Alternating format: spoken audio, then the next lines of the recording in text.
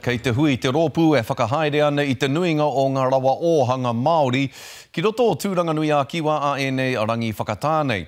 Toru tekau tau te rōpū whauma e tū ana i te mata o te whenua i nāianei, hei tā te pūrongo a Irena Smith, 11 ira kati rima piriona tāra te uara o ngā rawa a whauma, ā, e whakaaro ana rātou ki te whakangao i tā rātou pūtea tōpū ki ngā kaupapa whānui kia tipu tonu ai te uara o ā rātou rawa.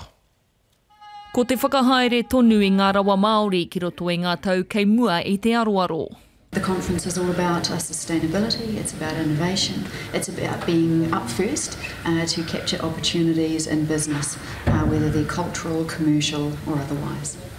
I raro i ngā hīhī o Te Tai Rāwhiti, ko te tūmanako ka whiti te rā ki runga i ngā tūmomo take nui e pā ana ki te oranga whenua Māori, oranga wai māori anō hoki. The focus on water for whon is around access, allocation, management, harvest and quality. Kua haria mai te hui 31 tau a Whauma ki Turanganui-a-Kiwa. He takiwā e mōhiotia ana mō ngā mahi pāmu kararehe, engari hei tā ētahi kua tae te wā e tūwherea ai ngā whakaaro ki ngā kaupapa whakangao pūtea maha. The concentration in the past has always been on beef and lamb and I think that diversification has now got to become a part of the future of Maori farming. Kei te whakatuwhera anō hoki a Whauma i tāna rautaki mō ngā tau 60 kei mua.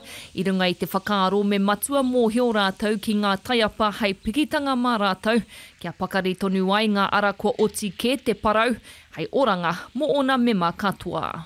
Yeah, look, we know from having long established enterprises in primary sector that technology and our systems in terms of innovation are going to be the step change for us, both in terms of sustainability as well as commercial return. Ka tukuna te mauri hautū i te hui a tērā tau, ki te rohe o Te Tauihu.